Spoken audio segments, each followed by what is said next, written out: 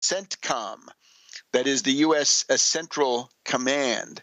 So they say, why is Clapper, who has 12 intelligence agencies uh, to uh, feed him stuff, why is he appealing to this brigadier general in uh, CENTCOM? Uh, good question. On the other hand, uh, what's going on here? And what I am thinking uh, is that this is somehow an operation masterminded by Allen and by McGurk, and I'll tell you why. We're told that that Clapper has no business talking to this uh, this uh, brigadier general in the uh, CENTCOM, uh, but then in the course of this article in the Daily Beast, we then have this big tirade against General Lloyd Austin. Yeah, let's. We can give you a little bit more now. I finally found the uh, the document. So it's the. Uh, I'm sorry. The the Guardian starts, and we'll have it just a minute on World Crisis Media. Welcome back to World Crisis Radio. It's September 11th, uh, 2014.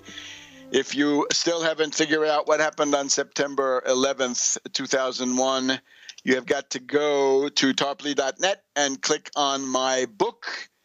That is to say, 9 11 Synthetic Terror Made in USA. And we are now up to 46 drills and other operations through which this event was conduited through the U.S. bureaucracy, since this is the way such things are done in the modern age. You take the drill live, you flip it live. You've got the patsies, the moles, and the technicians. You've got the angel is next. I am the only one who pays any attention to this vital evidence. That is why the fifth edition, make sure it's the fifth edition now, of 9 11 Synthetic Terror is, in my opinion, modesty apart, the the most uh, complete and the most accurate story because it tells you pretty much how it was done, and within certain limits, it also tells you who did it. But now let's look. It's uh, the Guardian. Okay, the London Guardian here on uh, September 10th says that James Clapper is having frequent communication with a military official who is said to be implicated into a Pentagon inquiry of uh, concerning manipulated intelligence. So the idea is that Clapper is talking every day with the head of the U.S. Central Command Intelligence Wing, Army Brigadier General Stephen Grove, G R O V E, which is highly unusual. How dare you? Uh, this is the same Clapper who lied to Congress uh, one official says Clapper has to be careful of the Cheney effect. If he physically went and visited the CIA, that would cause a stir. How would that affect people? Uh, Clapper is, of course, an easy punching bag. He's manipulative, we're told. Uh, and so we have Grove, again, the Brigadier General, Stephen Grove, and his civilian deputy, Greg Ryckman, R Y C K M A N. They are said to be the sources of dissatisfaction among analysts within Central Command, where an internal controversy about the integrity of their information and intelligence has now sparked an official inquiry by the Pentagon Inspector General. So a lot of this stuff is the the uh, the Daily Beast, as I said. Uh, the inquiry was uh, reported by the New York Times in August. Um, so the big problem is where is Allen? Well, we're told some interesting things. Uh, according to the Guardian, quote, the command environment within Central Command is toxic. This is down in Tampa. This is where uh, Allen had been operating, and then he got ousted. Uh, and now the London Guardian targets General Lloyd Austin, the Central Command chief he's uh, not really implicated in the intelligence manipulation, but according to a senior defense official, at the end of the day, he's responsible for his staff. Well, what is this? They want to show you that Austin is a bungler to the consternation of Senate hawks. Austin has declined to permit U.S. troops in Iraq to spot for airstrikes, which inhibits their accuracy. I can't evaluate this, but it's building towards something very suspicious. Last year, Austin defended the wisdom of the U.S. focusing, uh, defended the Iraq first uh, strategy. Um, so why why target uh, General Austin? We've also got Marine General Vincent Stewart the, the director of the DIA, Defense Intelligence Agency, he said on Thursday that the various investigations will play themselves out and see if anybody did anything wrong. Now, going back to that landmark series of exposes at the end of July, beginning of August, from the Tax Wall Street Party uh, and yours truly, um, turns out one of the biggest bureaucratic enemies of Allen is this General Lloyd Austin who's being targeted? So you tell me. Uh, not everybody was pleased when Allen became the ISIS czar. Among the dissenters was the head of U.S. Central Command, General Lloyd Austin. Austin complained to aides that Allen would report directly to the president, bypassing both himself and General Martin Dempsey. Uh huh. What is this? Uh, the chairman of the Joint Chiefs of Staff. Austin believes that Allen's appointment would lead to confusion about who was really leading the effort. A senior U.S. officer said, "Why the hell do we need a special envoy? Isn't what isn't that what the Secretary of State is for?" Uh, Austin's private doubts have been shared by serving and retired officers. Included in this group was former U.S. Central Command Chief Anthony Zinni, not the worst guy based on what you see on TV, who issued a harsh public condemnation of the appointment. John Allen is a great guy, said Zinni, damning with faint praise. Zinni told a reporter on September 12th last year, does it take a retired general to coordinate a coalition? What is CENTCOM? Chopped liver? Oh boy.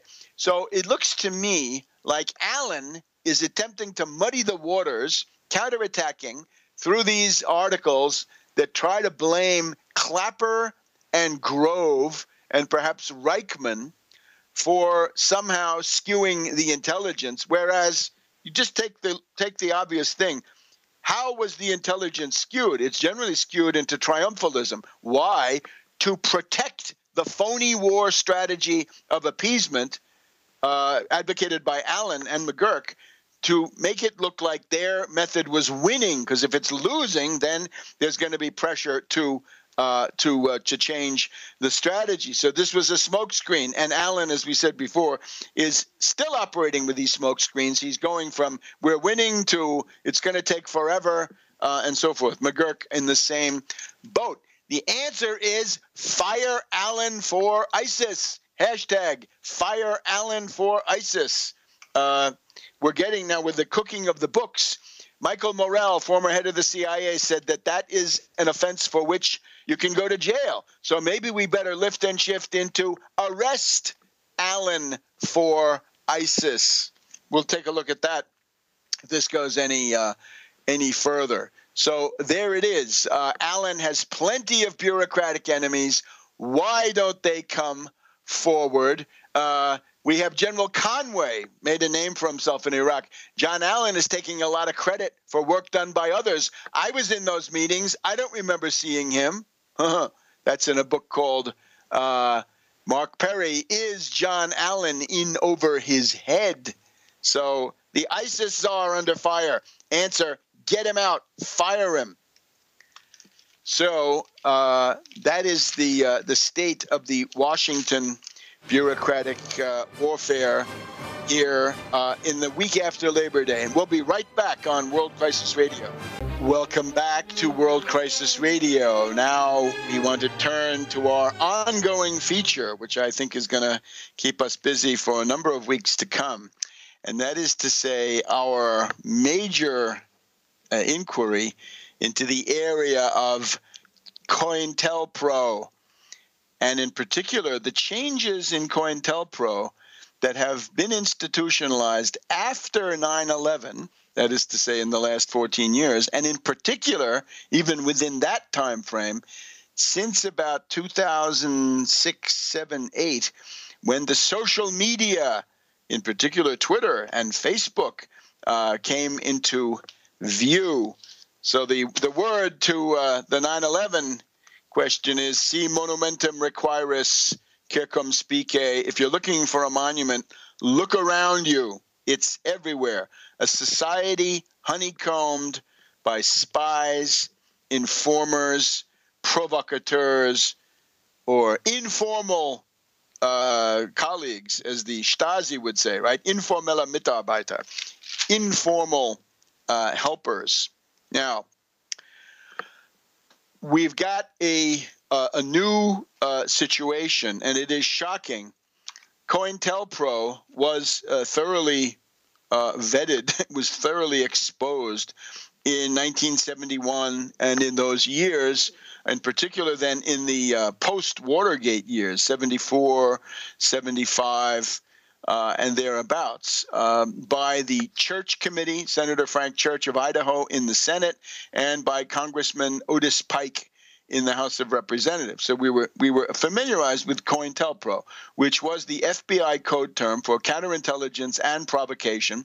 It was ways to make life difficult for the peace movement, the anti-Vietnam War movement, similar movements, civil rights movement. They did it, and they tried to harass them. Martin Luther King, his groups, uh, and also student movement, right? People who were interested in uh, SDS and so forth. And uh, these these domestic uh, counterintelligence, counterinsurgency operations, I think, uh, went very far.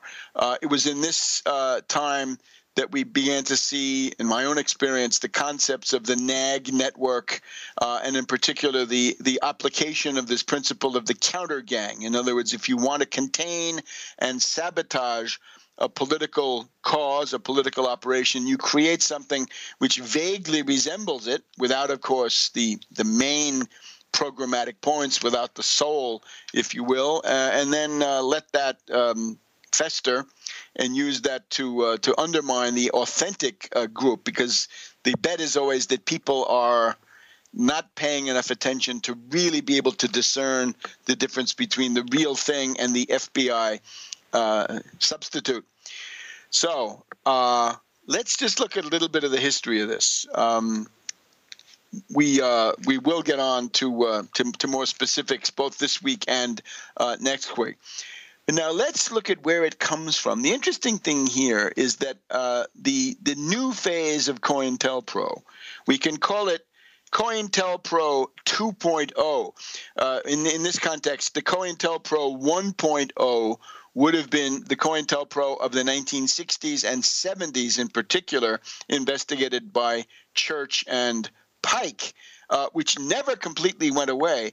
But then, uh, after uh, well, after 9 11, it was brought back uh, with a vengeance. Now, the model that was studied, interestingly enough, is the model of the Stasi. Uh, people know this as S T A S I.